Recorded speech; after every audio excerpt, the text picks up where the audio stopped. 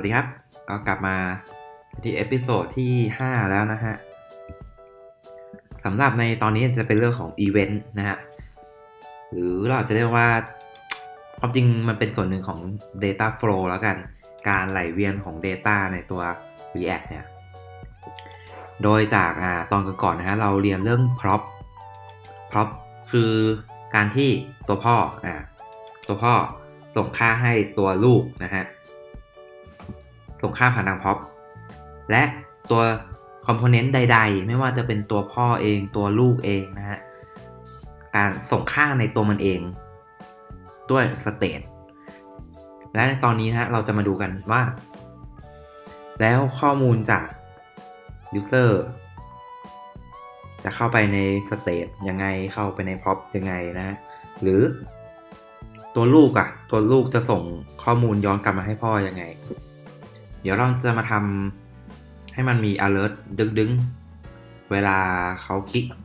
ตัวก้อน header นี้แล้วกันนะฮะปั๊บตัว event ใน React เนี่ย เราจะใช้ property ที่ชื่อว่า on click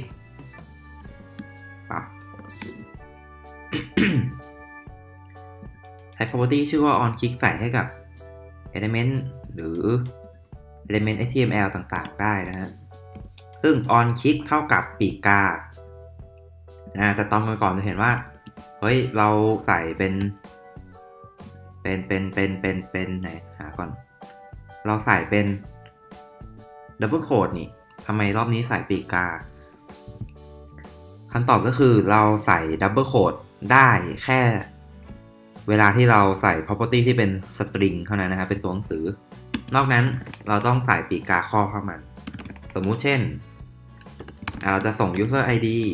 เป็นตัวเลข เป็น number เราต้องใส่ปีกกา number 30อะไรอย่างนี้ หรือเราจะส่งค่าเป็น object เราก็ต้องใส่ปีกกานะฮะ สมมุติส่งค่าเป็น object ก็คือปีกกา ปีกกาแรกบอกว่าค่าข้างในนะ จะเป็น ค่าของเป็น JavaScript แล้วอะส่วนปีกกาในคือปีกกาของ object name เท่ากับปึ๊บ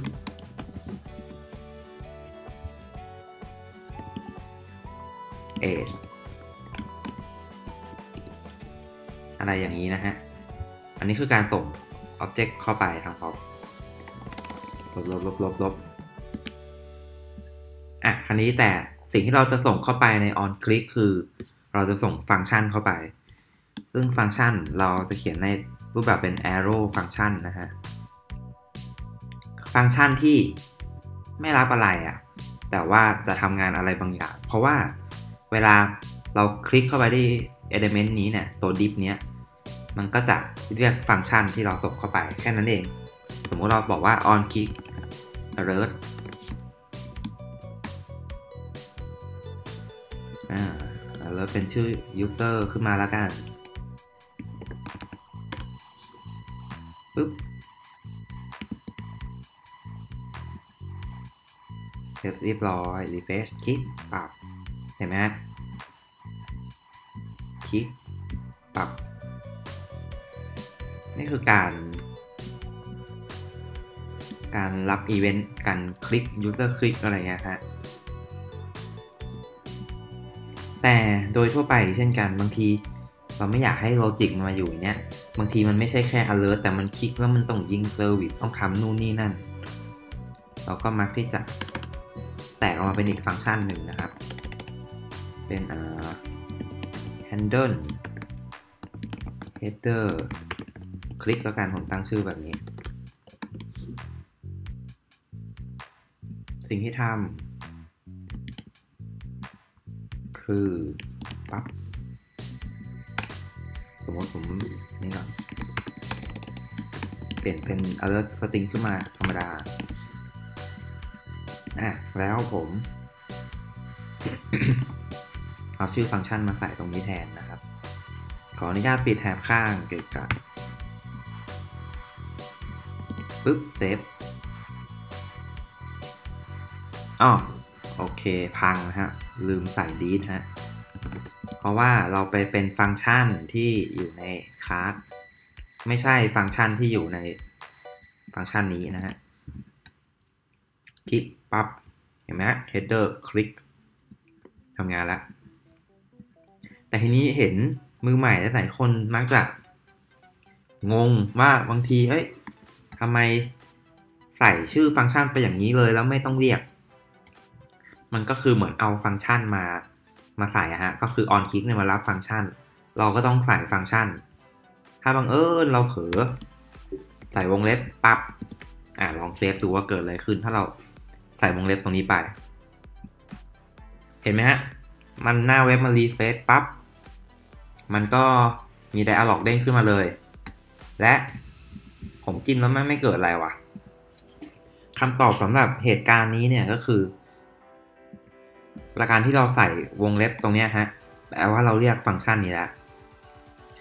และที่เราเห็นว่าหน้ามัน refresh ปั๊บแล้วมันเด้ง alert ขึ้นมาเลยก็คือ พอมันเรนเดอร์อีตรงนี้ให้เราเนี่ย มันก็เรียกฟังก์ชัน แล้วพอเรียกฟังก์ชันมันก็เลยมี alert เกิดขึ้นมาทันที โดยที่เราไม่ได้คลิก และพอเราคลิกมันไม่เกิดอะไรขึ้น ก็เพราะว่า สิ่งที่เราส่งไปให้ on click เนี่ย เป็นผลของเป็นสิ่งที่ฟังก์ชันนี้ return ซึ่งมันไม่ return อะไร แปลเราว่าเราไม่ได้ใส่อะไรให้ on click เราคลิกไปมันก็เลยไม่เกิดอะไรขึ้นนะฮะเออเจ็บคออะทีนี้ถ้าผมจะ โชว์ชื่อ current user เหมือนเดิมล่ะ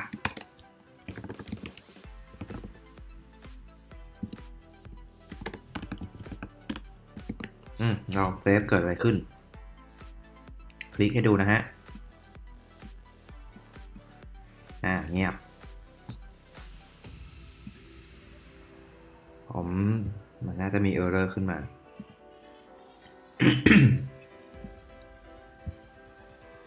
อ่า เห็นไหมอ่าเคลียร์เคลียร์ให้ดูอีกรอบ ถ้าผมคลิกมันปุ๊บ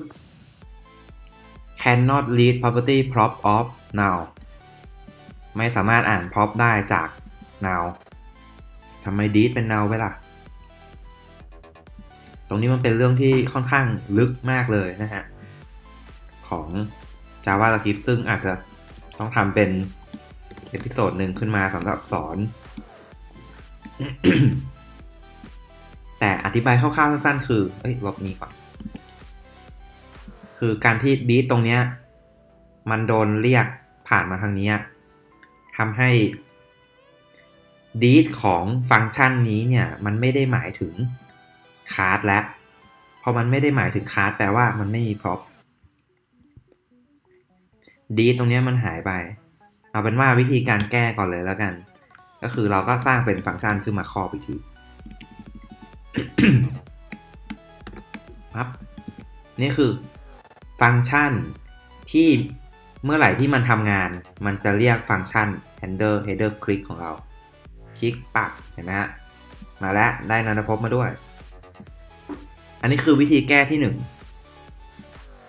อะ วิธีแก้อีกอย่างหนึ่ง เราต้องสร้าง constructor ขึ้นมา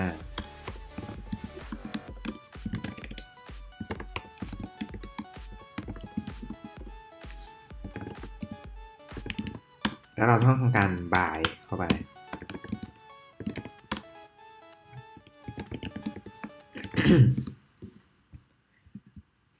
และตรงนี้เราก็จะสามารถส่งฟังก์ชันเข้าไปได้เลยทันทีเหมือนเดิม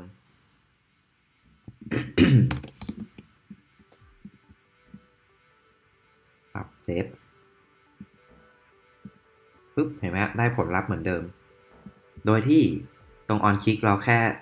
ส่งฟังก์ชันเข้าไป ไม่ต้องทำ arrow ขึ้นมารับนะฮะ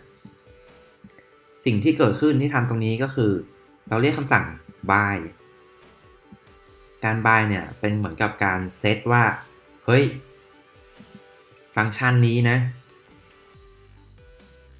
ให้ผูก deed อะเป็น deed ตรงเนี้ยก็คือประมาณว่าเซตก่อนเลยว่า เออ handle header click เนี่ย deed ของมันหมายถึงคาร์ดนี้ เพราะว่าการเรียก by ตรงเนี้ย deed deed ตรงเนี้ยเนี่ยฮะ มันจะหมายถึง component เราก็ผูกมันปั๊บจับทับตัวเดิมจบ ค่อนข้างลึกอันนี้ยอมรับเลยว่าค่อนข้างลึกล้ำนิดนึงนะฮะต้องหาอ่านกันหรือไว้ถ้ามีโอกาสเราจะมาแนะนำกันอีกที โอ้ เวลาผ่านไปรวดเร็ว ทีนี้เราจะให้คอมโพเนนต์ตัวลูก มันส่งข้าวมาหาพ่อมันได้ยังไงนะฮะ อ่า สมมุติผมทำไว้ที่แอปนี่ปุ๊บ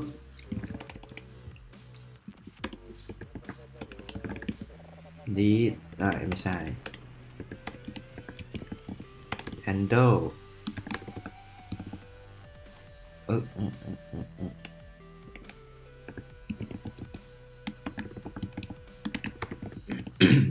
นี้ผมมาเขียนฟังก์ชันตัว handle เนี้ย ที่ตัวแอปหลักเราบ้าง อะ สมมติผมส่ง prop ไปเลย on timer click อะครับ d dot handle footer click นะฮะ ปุ๊บ อะสมมติผมสั่ง d dot set state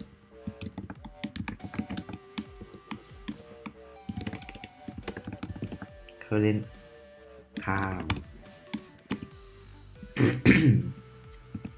อ่าผมต้องฟังก์ชันนี้ต้องรับ time เข้ามาด้วยปุ๊บ ผมขออนุญาต initial ค่า initial state มาหน่อย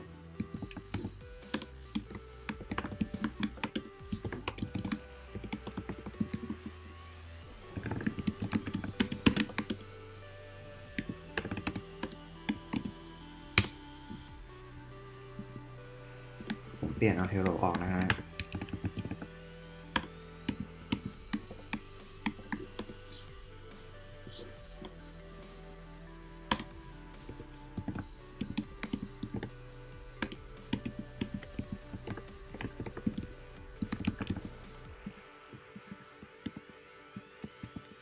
ปึ๊บ อะเซฟดูก่อน อะ current time เป็นศูนย์เห็นไหมฮะ ตัวกลางตรงนี้ เค ก็ ผมจะเรียก ส่งฟังก์ชันที่ว่า handle footer click เนี่ย ไปมาทาง property ชื่อ on timer click นะครับ เพราะฉะนั้นที่ footer ผมเนี่ยต้องทำอะไรบางอย่างกับ property เมื่อกี้นะผมก็จะอ้างถึง property ที่ส่งเข้ามาเมื่อกี้ แล้วบอกว่า on click เท่ากับ on timer click นะฮะ โดยส่งไม่ได้ตรงนี้ต้องเป็นฟังก์ชันเฉยๆ โดยส่ง time เข้าไปปุ๊บ จะสังเกตเห็นได้ว่า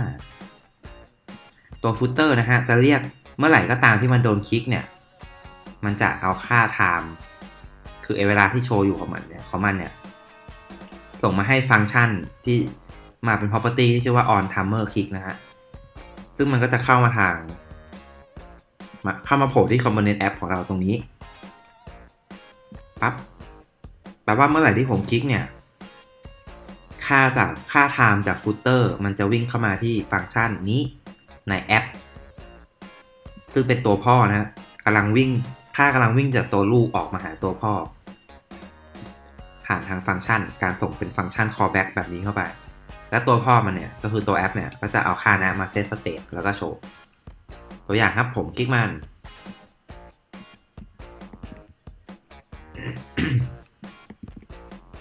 ทำไมไม่มา เรามาหากัน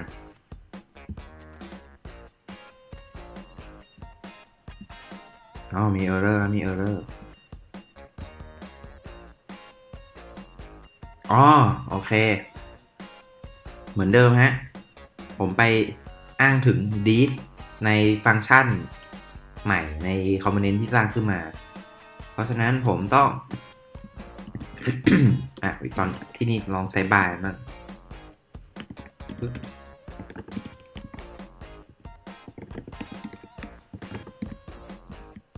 Save ครับ อ่าทำงานละ จะเห็นว่ามาโหเมื่อไหร่ที่ผมคลิกมัน ค่าตรง current time ตรงกลางจะเปลี่ยนปึ๊บอืมเห็นไหมคลิก ปรับค่าเปลี่ยน อันนี้เนี่ย ใน React เขาจะเรียกว่ามันเป็น one way data flow คือ Data มันวิ่งทางเดียว ไม่เหมือนอย่าง Angular นะฮะที่เป็น two way ที่นี่เป็น one way ตัวอย่าง อย่างที่เราเห็นที่ทำทำผ่านมาเนี่ยก็คือ อ่า จากพ่อไปสู่ลูกนะฮะ ผ่านทาง property อ่า นี่คือทางเดียวนะฮะแต่จากลูกวิ่งมาสู่พ่อเนี่ย มันต้องใช้วิธีผ่านทาง callback คือลูกจะไม่สามารถขึ้นมาแก้อะไรที่ตัวพ่อมันได้เลยเพราะความจริงตัวลูกไม่รู้ด้วยซ้ำว่า ตัวพ่อมันคืออะไร เราจะใช้วิธีการส่ง callback แบบ on click on submit on open on favorite อะไรพวกเนี้ย เราจะส่งฟังก์ชันเข้าไปจากพ่อสู่ลูกเพื่อให้ลูกมาเรียกฟังก์ชันแล้วส่งกลับมา นี่คือตรงที่ลูกเรียกกลับก็เนี่ยฮะระบบอีเวนต์สำหรับวันนี้ก็จบเท่านี้นะฮะ ขอบคุณมากครับ อย่าลืม subscribe นะครับ